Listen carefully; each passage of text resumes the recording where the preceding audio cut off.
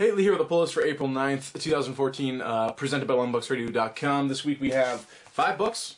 Five books. Uh, first up from IDW, we have Judge Dredd, American Way of Death, uh, Part 2. Really, really digging this arc. Uh, you basically have all these, like, kind of horsemen of the apocalypse-esque judges running amok in uh, uh, in Mega City One, uh, just just terrorizing people, ripping it apart. Really, really cool stuff. Check it out. Um, over to Image Comics, we have Walking Dead number one twenty five. This is uh, it's number eleven of twelve, so we got a big shakeup coming out of this issue or the next one. Uh, according to what Robert Kirkman has kind of been, been teasing, that there is kind of a uh, reboot to this series, more or less. I don't know to do with characters or if he was just speaking cryptically. We'll find out. But here it is, all the same. So. Moving over to Marvel, we have Avengers Undercover. Uh, I have not read the first issue of this, but uh, based on Hopeless, I am uh, I'm just going to follow it up with the second one. So I'll be talking about this on the next podcast for sure uh, as I finally get into it. But it looks uh, looks like it's up my alley.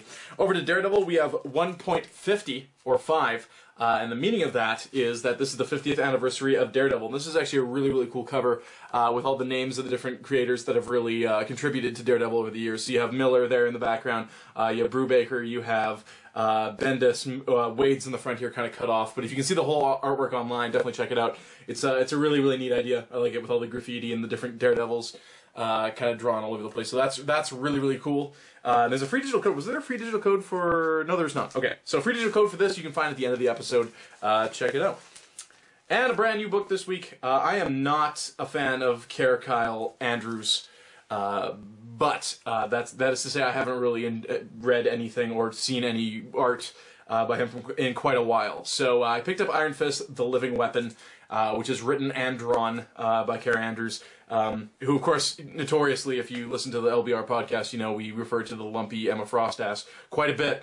Uh, but here, here it is with a brand new number one. Nightcrawler's got his uh, got a book out this week as well. So if you're a Nightcrawler fan, which apparently there's a lot, uh, aside from from Nightcrawler and, and, Gambit, those are like the two big X Men that have had their own books in the last couple years. So there you go. Uh, so there's a free digital code for this. Look for that at the end of the episode as well. And that's it for books. Uh, the lovely people over at Calgary Expo have seen it fit to uh, give us some media passes. So we will be there at the end of the month, uh, meeting and greeting and uh, posting some videos from that. Other than that, we do have a new podcast up, number 59. is available online right now.